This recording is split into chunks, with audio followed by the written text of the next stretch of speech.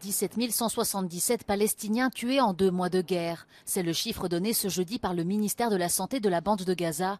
Ces dernières 24 heures, les frappes israéliennes auraient fait 350 morts et plus de 900 blessés. De son côté, Tsahal continue son incursion au nord et au sud de l'enclave palestinienne. Dans la ville de Rafah, proche de la frontière égyptienne, des centaines de bâtiments sont en ruine. Habitants et réfugiés ne savent plus où aller.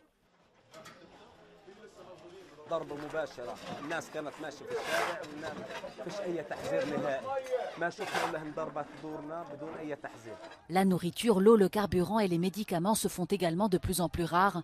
Selon le programme alimentaire mondial des Nations Unies, 97% des familles gazaouis ont une consommation alimentaire insuffisante. Plus tôt dans la journée, Israël a autorisé la livraison d'un supplément minimal de carburant à Gaza pour éviter un effondrement humanitaire et des épidémies. Le chef des opérations humanitaires de l'ONU a quant à lui indiqué voir des signes prometteurs de l'ouverture prochaine du passage de Kerem Shalom entre Israël et la bande de Gaza. Selon lui, cette ouverture permettrait une livraison plus facile de l'aide humanitaire à ceux qui en ont le plus besoin.